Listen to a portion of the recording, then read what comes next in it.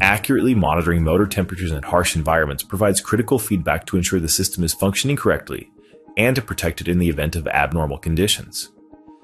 TE Connectivity e-motor temperature sensors available from Mouser Electronics are offered with a platinum sensing element or a high precision and high sensitivity NTC thermistor.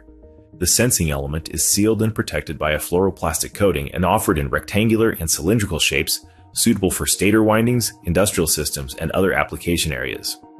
The sensors can be used to measure temperatures from negative 40 to positive 200 degrees Celsius and are designed to withstand harsh automotive and industrial environments, including exposure to thermal cycling, thermal shock, storage at extreme temperatures, exposure to automatic transmission fluid, and more.